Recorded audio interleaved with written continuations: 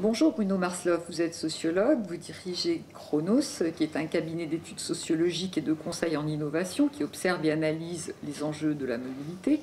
Et vous avez écrit un ouvrage au titre très accrocheur, Travailler sans bureau fixe, parmi de nombreux ouvrages et articles euh, que vous avez publiés.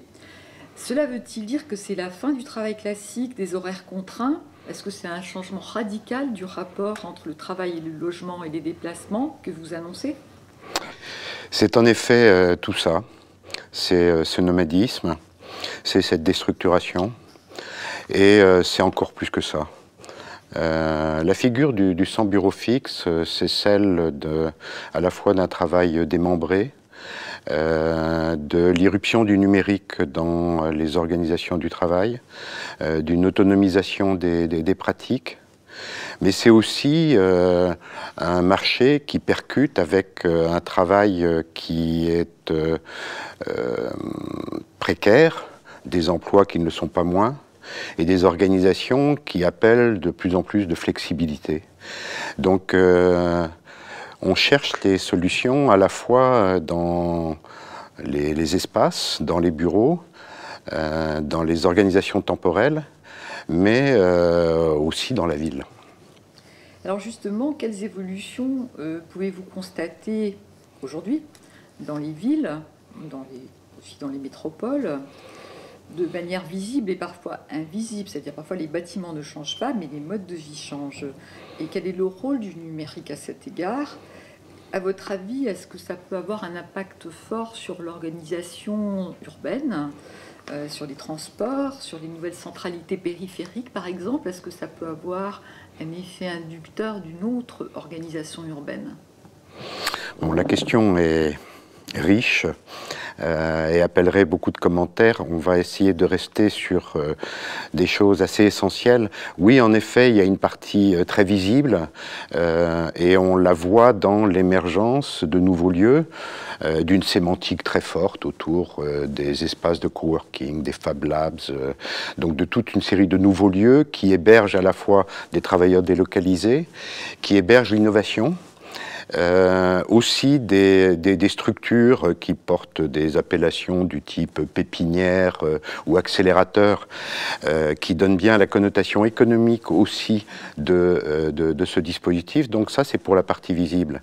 La partie invisible, les villes de tout temps se sont adossées à des réseaux. Et euh, les réseaux de, euh, notre ville aujourd'hui sont d'abord des réseaux numériques, des réseaux de connectivité, des Wi-Fi, des 3, 4, 5G, de l'Internet des, des, objets, mais aussi quelque chose qu'on ne voit pas et qui participe très fortement en fait, et à la fois de la constitution du travail et à la fois de la constitution de la ville, ce sont les réseaux sociaux. Et euh, donc il faut avoir en tête cette espèce de soubassement invisible qui participe très très fortement de l'organisation de, la cité. Et puis pour la dernière partie de, votre question, c'est un, enjeu majeur, celui euh, de la question des bassins de vie et celui des équilibres métropolitains. Jusqu'à quel point est-ce que le travail l'organisation spatiale du travail est une opportunité pour repenser le délitement urbain euh, qu'on subit depuis euh, maintenant de nombreuses décennies. Euh, est-ce qu'on peut refabriquer de la proximité qu'on a largement perdue? Donc voilà aujourd'hui des questions qui sont posées aux villes. La proximité, c'est aussi l'espace public qui ne va pas mourir, au contraire, à cause de ce genre d'évolution, le numérique ne va pas tuer l'espace public, bien au contraire. Et donc, à cet égard, euh, quel conseil donneriez-vous aux responsables de l'urbain, aux concepteurs, aux aménageurs, aux élus, pour prendre en compte ces évolutions, à la fois dans la planification, dans les projets, dans les programmes qu'on développe, et anticiper la manière de servir le territoire et servir l'usager? Là encore, euh, l'exercice est très difficile parce que euh, il y, a un, exercice préalable qui est celui de la priorisation. Quelles sont les priorités que, l'on a? Aujourd'hui, il y a une priorité, euh, me semble-t-il, euh, urgente, qui est celle de résoudre euh, le problème de, de l'écartèlement domicile-travail et de l'impact que ça peut avoir, surtout dans les grandes métropoles.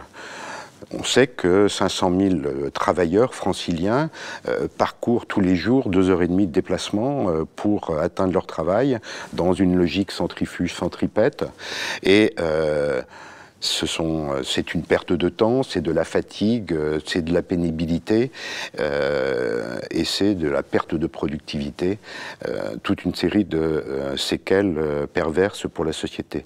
Donc là, ça me semble être une priorité. Comment peut-on se saisir de cet enjeu de la délocalisation et de la désynchronisation du travail pour repenser ces séquelles que l'on vit depuis des décennies de massification automobile? Ensuite, on a, effleuré le sujet dans la question précédente, mais c'est vrai qu'il y a une opportunité formidable de euh, remettre à plat euh, cette logique d'étalement urbain euh, dont on ne fait que mesurer les, perversités. Est-ce que euh, dans cette relocalisation du travail, dans ces nouveaux espaces que l'on peut imaginer, dans ces réaménagements de bureaux, mais aussi dans ces réaménagements temporels, et puis dans ces réaménagements relationnels, parce qu'il ne faut pas oublier que le numérique, c'est du lien, c'est la possibilité de, de euh, d'enrichir l'urbanité, euh, même si ça, se voit mal. Donc euh, il y, a là une, il y a là une autre priorité que les élus, les aménageurs devraient avoir en tête. Merci Bruno Marsloff. Je vous en prie.